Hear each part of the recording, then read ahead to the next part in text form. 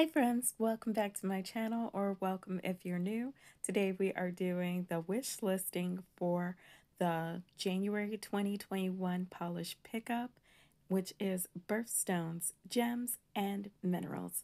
I am going to have some links to my videos for polishes that I've live swatched for this. If you enjoy these types of videos, go ahead and hit the subscribe button and the notification bell, and I'll have all the purchase info down below.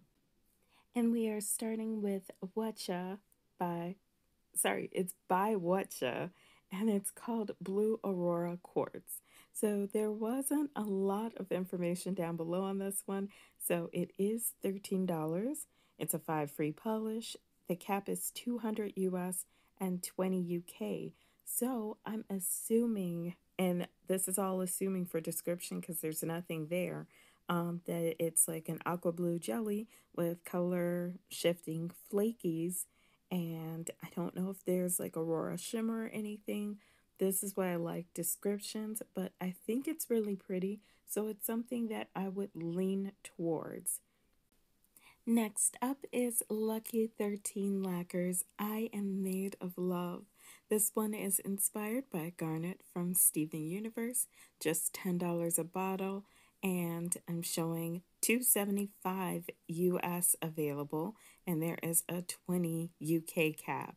So this is described as a garnet pink jelly with magenta to gold color shifting magnetic UCC micro flakies. So of course, because it's unique to me, it absolutely pulls me. I have been really liking and pinks always pull me. So, of course, I'm really trying to limit what I'm purchasing this month, but this one is looking irresistible to me. Next up is Bee's Knees Lacquer, and this is my last pick because, like I said, guys, I'm trying to cut down on my spending. This one is going to be $13 and it's called Until It's Done. So I am not showing a cap right now on that. And it's a mid-toned blue with glowy blue to purple shimmer. Super simple, but it's so glowy and pretty and shifty. And I know that I have similar polishes in my collection, but at the same time, I love a blue to purple shift. So I'm literally at war with myself on shopping my stash for this month's polish pickup. I need you guys to comment down below. Let me know what I should do. And that's it for me in this very short video. If you like this video, please leave me a like down below and a comment on what you guys think I should do.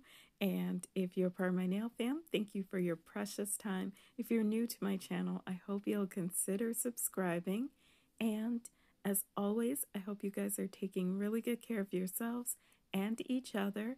And I will see you in my next video. Bye.